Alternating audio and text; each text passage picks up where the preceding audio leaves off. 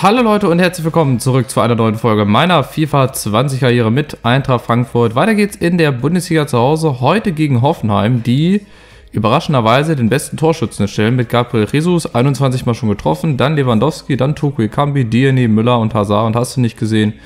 Ja, es läuft momentan wieder ganz gut. Ähm, wir haben zwar gegen Freiburg nur 1-1 gespielt, aber wir sind trotzdem ganz gut drin. Wir stehen oben an vierter Position. Wolfsburg hat uns jetzt überholt, nachdem wir nur 1-1 gespielt haben in Freiburg, wie gesagt. Darf heute diese Mannschaft ran mit der B11. Vielleicht tue ich Moreau raus, der hat im letzten Spiel gespielt. Haben wir da vielleicht nicht noch einen anderen? Vielleicht mal Kutuan oder Gacinovic? Wir machen mal Gacinovic reinkommen, der hat auch mal wieder einen Einsatz verdient. Und dann bringen wir hier, ja, würde ich sagen, trotzdem Hinteregger rein, damit alle fit sind soweit, jawohl, und dann schauen wir mal und hoffen, dass es gegen Hoffenheim besser läuft, dass wir drei Punkte einfahren, oben uns festsetzen und dann geht es ja schon ins entscheidende Rückspiel des Champions League Achtelfinals gegen Menu, bei dem wir einiges gut zu machen haben. Hier Gabriel Jesus also, erfolgreichster Torschütze, den müssen wir heute irgendwie in den Griff kriegen. Aber auch die Hoffenheimer müssen unseren besten Schützen in den Griff kriegen, Toko Ikambi. Schauen wir mal. Also, verspricht wieder ein spannendes Spiel zu werden. Beide Mannschaften wollen nach vorne spielen. Das machen wir. Stellen auf Offensiv und es geht los. Ja, Hoffenheim mit ihrer berühmten 5-3-2-Formation. Ne? Fünferkette bei Gegnerangriff, Dreierkette bei eigenem Angriff. Das ist ja sehr zu, schwer zu bespielen. Im Hinspiel haben wir durch eine Umstellung dann 2-0, glaube ich, gewonnen oder 2-1. Ich glaube 2-1 haben wir da gewonnen. Haben dann auf 4-3-2-1 umgestellt. Haben dann die Mitte so ein bisschen ent gezogen oder auseinandergezogen, hatten dann dort Platz. Schauen wir mal, ob heute das mit dieser Aufstellung funktioniert. Almami Touré mit dem ersten Warnschuss, aber der geht 10 Meter drüber. Ja, und auch so ist es eine ausgeglichene Saison. Wir haben ja im letzten Part auch mal auf die Tabelle geguckt. Alles sehr eng beieinander, da kann wirklich jeder jeden schlagen. Vorne die Bayern und Dortmund sind drei Punkte auseinander. Das wird auch noch ein heißer Ritt, die letzten zehn Spiele. Da kommt es dann auch wahrscheinlich aufs direkte Duell an, wenn die dann gegeneinander spielen. Und wir, ihr seht es, vierter Platz, Vorsprung vor Schalke, die schon gespielt haben. Wolfsburg muss noch spielen. Die sind momentan ein Punkt vor uns, aber vierter Platz reicht ja auch zur Champions League und das ist ja unser angepeiltes Ziel. Also Meisterschaft auf gar keinen Fall mehr, da sind wir raus, aber zumindest Dritter. Das wäre doch eine schöne Platzierung am Ende. Ja, die Hoffenheimer, die machen uns das Leben schwer. Die stehen hinten, wie ich schon angekündigt habe, sehr dicht, sehr sicher. Und nach vorne hin haben sie halt ihre gefährliche 3-5-2-Formation dann, die Gott sei Dank noch nicht so gut funktioniert, aber muss ja auch erst nicht sein. Ne? Ich muss das ja auch nicht wieder stark reden. Deswegen hoffen wir einfach mal. Und Gacinovic hat jetzt mal Platz. Der ist schnell. Gegen Adamian. Hübner kommt auch nicht hinterher. Wenn er hinten Gibbs White sieht, dann haben wir eine große Chance. Aber dann muss Gibbs White auch den Ball so gut mitnehmen. Schade, das war eine große Chance von jetzt die Hoffenheimer. Über Jesus. Oh, ich will eigentlich Willems da ausgewählt haben. Den kriege ich aber nicht. Jesus mit der Flanke. Da hinten ist Geiger und Hinteregger klärt. Schade, wenn ich nicht die Leute bekomme, die ich gerne hätte. Na gut, also Ecke, Griffo. Kann gute Ecken schießen. Da ist Ginter mit dem Kopf, aber weit vorbei. Also kleine Annäherung auch von Hoffenheim. Ihr seht, das wird auch wieder ein sehr ausgeglichenes Spiel. Das ist eine Partie, wo wir sehr ruhig und sehr abwartend spielen müssen. Wo wir auch nicht viele Chancen kriegen werden. Vielleicht, wenn wir wieder die Formation umstellen, aber das schaue ich dann zu gegebenen Zeitpunkt. Zurzeit funktioniert es ja auch mit dem 4-2-3-1 ganz gut. Wir müssen einfach schneller spielen. Ah, dann natürlich auch genau in die Füße, aber den kriegt der Bogo. Bekomme ich hoffentlich Gibbs Wild ausgewählt, genau. Ja, und dann müssen wir halt hin und her spielen. Verschieben, schneller spielen. Da kommt Matuko Ikambi entgegen, aber sofort steht uns da einer auf den Füßen. Das ist echt schwer. Und vorne lauern halt zwei Hoffenheimer. Die bleiben auch stur stehen. Die arbeiten auch nicht weiter mit nach hinten. Die stehen vorne rum und warten dann auf Ballgewinne. Aber wenn wir so spielen, schade. Dann haben wir die Hoffenheimer eigentlich gar keine Chance. Aber das müssen wir auch machen. Wir müssen auch mal schneller spielen, auch mal was riskieren. Momentan sieht das von uns eigentlich, oh, ganz gut aus. Bis auf den Fehlpass jetzt von Fallett. Der war ein bisschen zu übermütig gespielt, aber er holt ihn sich wieder. Und von daher, ja, bislang noch viele Fehler. Auch in unserem eigenen Spiel. Viele Fehlpässe, das ist momentan noch nicht so unser Ding. Schauen wir mal, da müssen wir uns jetzt halt irgendwie reinfighten ins Spiel. Über Zweikämpfe, schnell hinten rausspielen und dann kriegen wir schon unsere Chancen. Vielleicht ja jetzt mal der Bogo, Überzahl. Wenn er durchläuft, dann kriegt er den super. Schön von Willems durchgespielt und jetzt da Bogo. Er kommt ein bisschen zu weit nach außen. Und dann misslingt die Flanke. Schade. Wenn er den ersten Kontakt besser hinkriegt, dann hat er eine Chance, durch seine Schnelligkeit aufs Tor zu ziehen. Aber gut, klappt auch nicht immer. Ist noch ein junger Mann. Wie gesagt, der wird noch, der wird noch stärker und der wird auch später die Zukunft sein. Wie viele andere auch, ne? Wie Moreau, Maillet, Dragowski im Tor, der letztes Spiel sein Debüt gegeben hat. Gleich mal ein Gegentor gekriegt hat. Aber gut, ist wie es ist.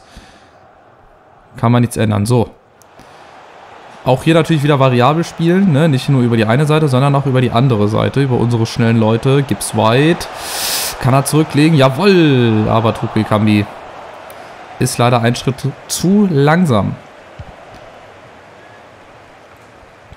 Ja, sieht alles sehr, sehr gefährlich aus von uns. Gefällt mir jetzt besser als in der Anfangsphase. Von Hoffenheim bislang, bis auf den einen Kopfball da von Genta, auch recht wenig zu sehen. Aber das muss ja nichts heißen. Wir brauchen auch nur eine Chance. Und ein Gabriel Jesus, der vorne, ja, in der Saison trifft, wie er will. Jesus, aber Hinteregger ist dazwischen. Sehr schön, sehr wachsam.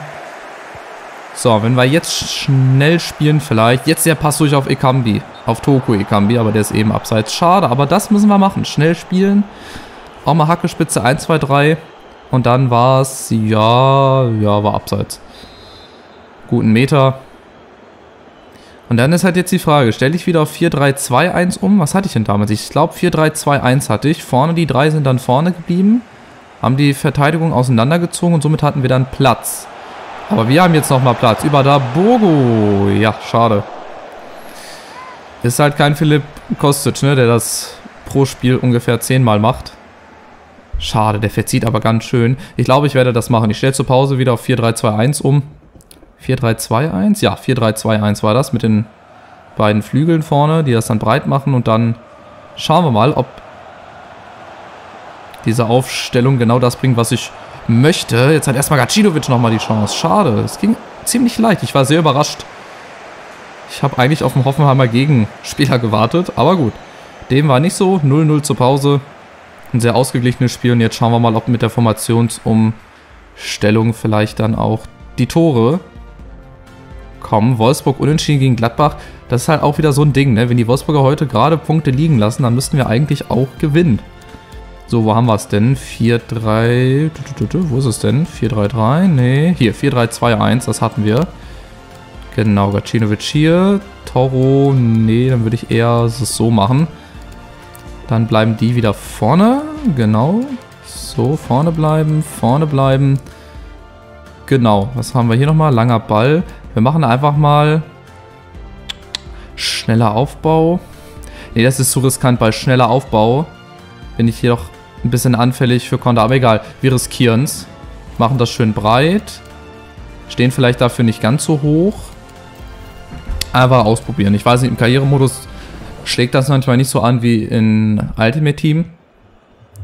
Aber gut, einfach probieren versuchen und wenn ich sehe, okay, es klappt nicht, dann stelle ich wieder zurück oder lass mir was anderes einfallen. Aber jetzt erstmal das 4-3-2-1, was uns im Hinspiel dann direkt zwei schnelle Tore beschert hat. Deswegen bin ich eigentlich sehr optimistisch, dass das auch hier funktioniert. Schauen wir mal. Willems.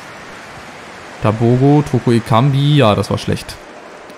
Schlechter Ball. So, jetzt bin ich mal gespannt, wie es ist, wenn wir halt in der Rückwärtsbewegung sind. Vorne die drei bleiben stehen.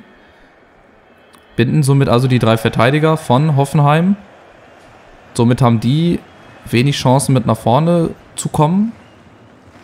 Das stelle ich mir halt vor, oder so ist halt der Plan. Aber der Plan geht halt auch nicht immer in Erfüllung. Jetzt Madabo gegen Zuma. Oh, die Flanke kommt zu weit, oder? Kriegt den Gibbs White? Ja, den kriegt er noch, aber auf Kosten eines Abschlusses. Schade. Okay, also wir müssen dem Ganzen nochmal Zeit geben. Ne? Ist klar, dass das noch nicht so fruchten kann in den ersten 5 Minuten. Aber vielleicht, wenn wir jetzt nochmal 10 Minuten so spielen, ganz in Ruhe. Bibu kommt für Griffo, nochmal ein schneller Mann. Zuma auch von Chelsea, Ward Prowse auch aus der Champions League. Also die Hoffenheimer haben schon einige gute Spieler geholt. Staphylidis dann auf der anderen Seite. Roniger, ja, wir müssen jetzt natürlich mehr laufen, ne? Ich versuche natürlich die Mitte wieder ein bisschen breiter zu machen, auseinander zu ziehen. Und durch Ballgewinne dann schnell umzuschalten. Habe ich auch so eingestellt. Jetzt ja die Hoffnahme über Bebu. Hinteregger geklärt. Und über die Außen. Wenn der Bogo sich mal auf den Weg machen würde. Ah, schade gegen Karl Rabeck. Das bekommt er leider nicht hin, oder? Nein, schade. Wunschdenken, aber Hoffenheimer haben sich gefangen. Ich glaube, die Formationsumstellung hat diesmal nicht so viel gebracht. Also gefühlt. Das kommt eher den Hoffenheimer entgegen. Adamian, Fallett ist da. Wir stehen trotzdem defensiv immer noch richtig gut. Aber da vorne ist das halt ein bisschen wenig. Jetzt vielleicht. Jetzt haben wir einmal die Abwehr auseinandergezogen. Gacinovic, Keeper kommt und der geht an die Latte. Scheiße, das wäre es natürlich gewesen, ey.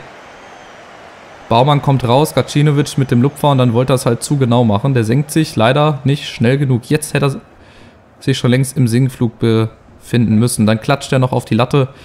Okay, aber da haben wir es mal gesehen, wie es funktionieren könnte. Schneller Aufbau, Gacinovic macht es breit, hat dann die Chance und Baumann hätte eigentlich noch mal ein bisschen rauskommen können. Schade, okay. Jetzt mal Emerson. Und Jesus gegen Hinteregger. Oh, den zieht er gut raus. Und Hinteregger holt den Freistoß, beziehungsweise zieht den Freistoß für die Hoffenheimer. So, und der kommt auch durch Jesus persönlich. Langer Pfosten, Bebu und da ist Ronniger und Renault.